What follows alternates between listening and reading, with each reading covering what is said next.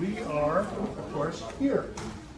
Right by the "You are here" sign, visible from space.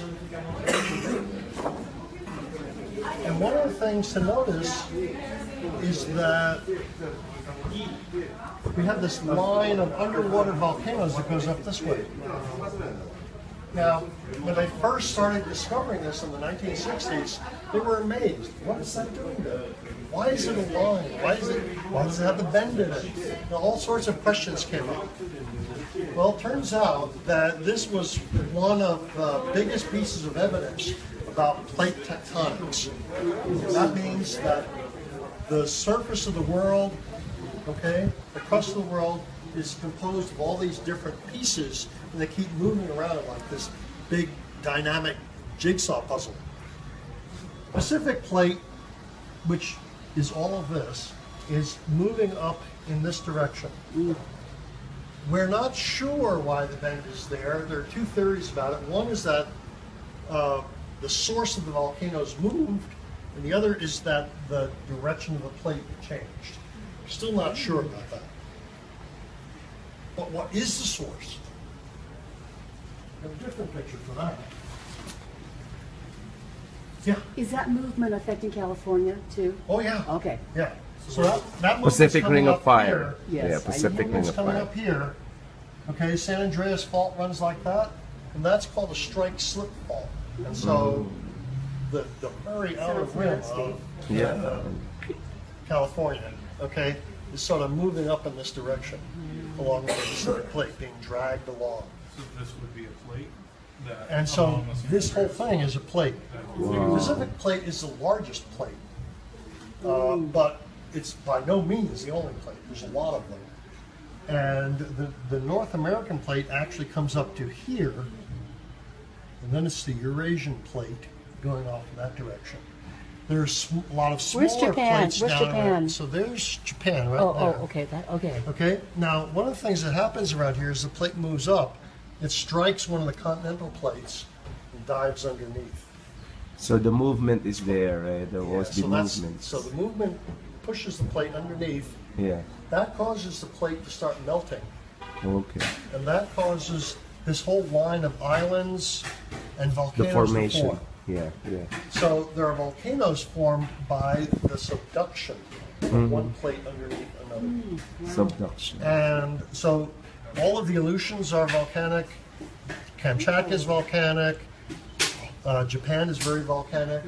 Philippines, we have 200 volcanoes in our country.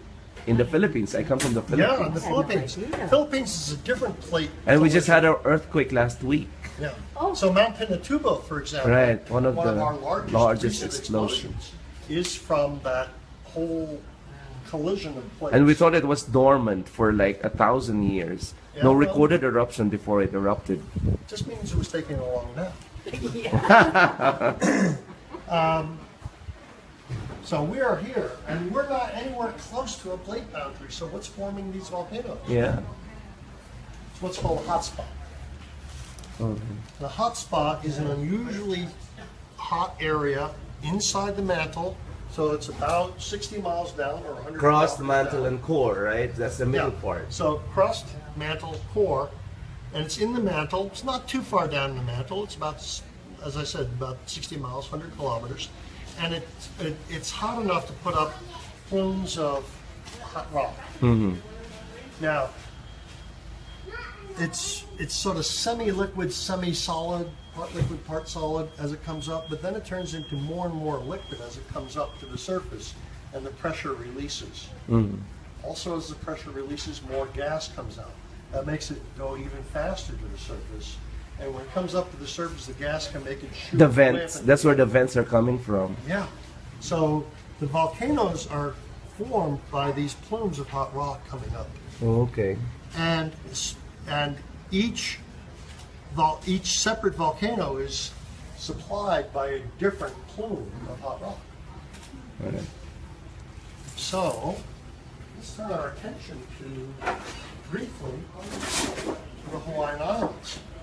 All of these islands are volcanic. They're all produced by the hot spot, and the whole plate is moving this way. That means that this is the youngest island, this is the oldest island. Oh. So the hot spot just stays put in the mantle. The plate moves across. And so it comes up here. Kauai is about five to six million years old. Oahu, three to four million years old. Uh, Maui, Molokai, this clump of islands, uh, about one to two million years old, and it used to be one island. Okay, It's fragmented. what happened? It, it's been sinking. So the weight of the volcanoes pushes down into, it pushes the whole structure down into the Earth's crust. So there's a big bulge underneath. Same thing is happening to Hawaii, but because we're so young, less than a million years old, because this big island is so young, it hasn't had time to sink down yet. Mm-hmm. And Wow.